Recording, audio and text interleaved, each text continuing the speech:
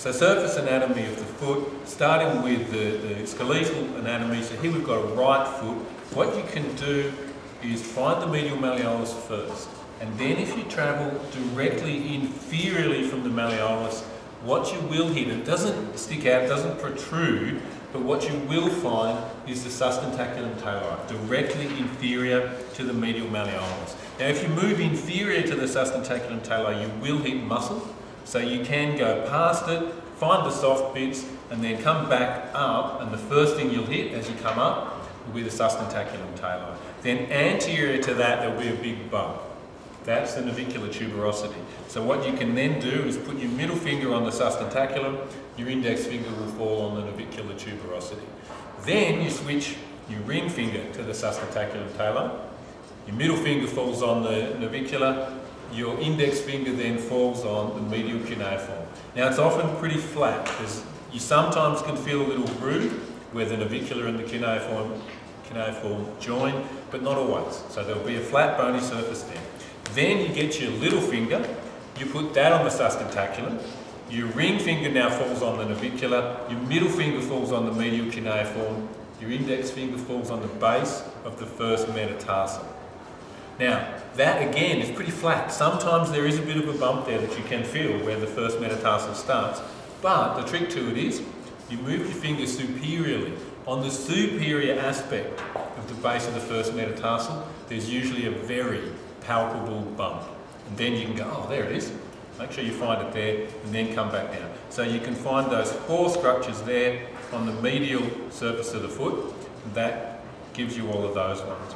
Then on the lateral surface, what we're looking for here is firstly from the lateral malleolus, more or less straight down, is the fibular trochlea, and that's that bump there that the fibularis longus and brevis tendons are either side of. Now, in some people it's really palpable, some people it's visible.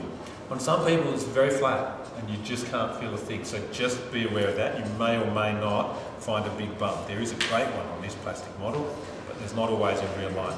Then what you do is find the calcaneal tuberosity. Now the calcaneal tuberosity is this whole big bump at the back of the calcaneus.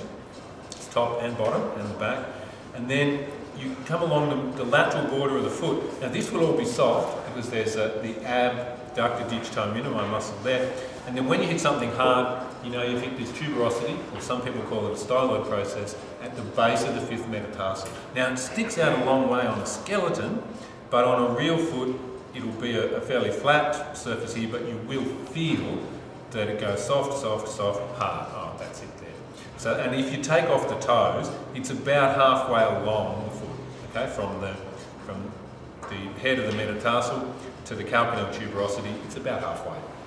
So not too hard to find. So that's what we can find in terms of skeletal anatomy. Let's just have a look then. If we come up to the talocrural joint, so we find again the medial malleolus, and then if we just work our way across here, we should first hit tibialis anterior, the tendon, and we should be able to follow that down to where it attaches to the cuneiform and the base of the first metatarsal. You've just found those, so that should be easy enough to follow that to where it goes. Then the next one will be extensor hallucis longus, and then extensor digitorum longus, which here at the talocrural joint will be one tendon that then splits into four. Then lateral to that we'll find fibularis tertius, assuming that the person has one. Only about 4% of people don't though, so chances are you'll find it. But it's usually only palpable just here.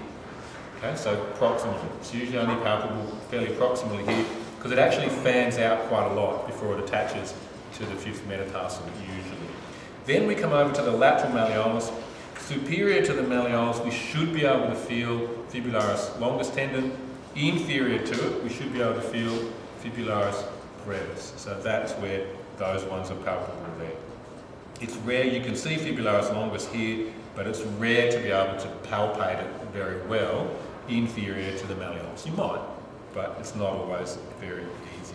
And then lastly, the plantar aponeurosis is, oh sorry, second last, the plantar aponeurosis is, is overlying, it's not on this model, but it overlies the flexor digitorum brevis, so that's exactly where it's going to be. It's narrower here towards the heel, and it fans out, becomes broader as it gets towards the metatarsal heads. uh, we may be able to feel that one. It's not always that easy to feel. And then lastly, on the lateral surface of the dorsum of the foot here, we have extensor, digital brevis, so we're going to find that muscle belly just there. And of course, all the tendons and muscle bellies are much easier to find if you get the person to activate that muscle. And that's that.